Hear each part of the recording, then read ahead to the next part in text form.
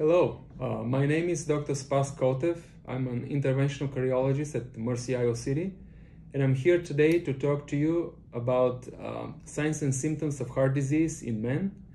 Um, heart disease is the leading cause of death in men uh, in the whole United States. It's uh, one in four uh, of all causes of death.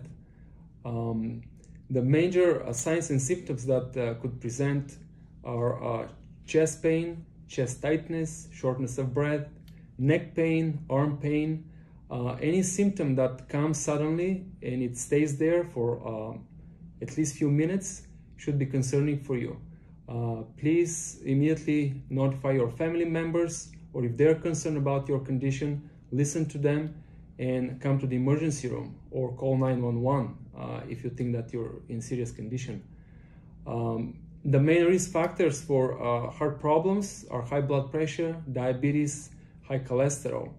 Uh, if you have any of these conditions, please talk to your primary care provider so they could be taken care of and you do not need to come to the hospital. Um, please call Mercy Iowa City Cardiology for any additional questions or concerns and we'll be happy to see you and keep you in good shape.